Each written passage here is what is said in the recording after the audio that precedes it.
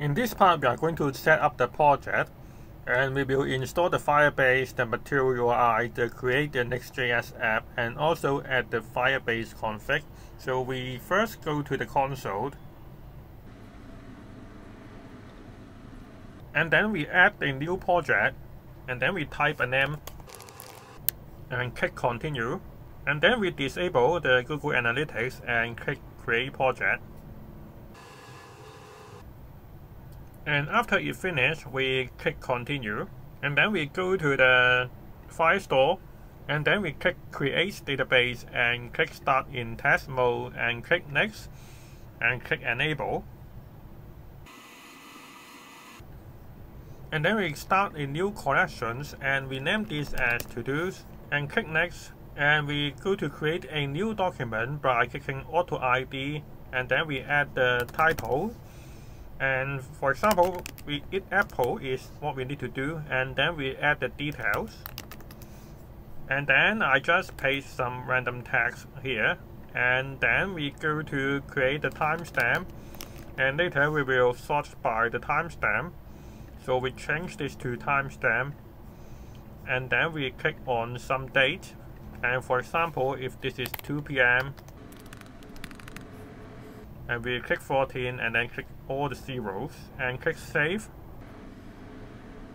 Now we have one to-dos. And then we click another to-dos by add another new documents. And also we have the title. And we click fishing and click details. And also we paste some random text here. And again we create the timestamp. We name it as timestamp and also we click another date. And also we type for example this is 5 p.m. so now we already have two to do. And since we will use the Google login so we go to authentications and click get started. And then we select Google and then click enable. And then we choose our email to be the project support email and click save now, after we already set up in the Firebase, we are going to create the Next.js app. So from the documentation, we, we go to copy this command, and then we are going to paste this command and add the file name. We type Next.js, Firebase. So after we already create a project, we go inside the project by typing cd and type the name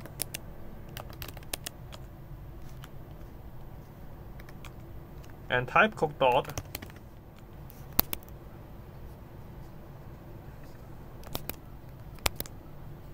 And since we will use the material UI, so we can copy this command from the documentation's installations. So we copy the first one and go to the terminal of our VS Code and paste inside the terminal. And then we copy the next command and paste here. And we also need to use the material UI icon. So we scroll to here and then we copy this command and also paste to the terminal. And at the same time, we go to project overview and click on the web. And then we create the web app, which is Next.js Firebase. This is just some name that you can create yourself. And then click register app.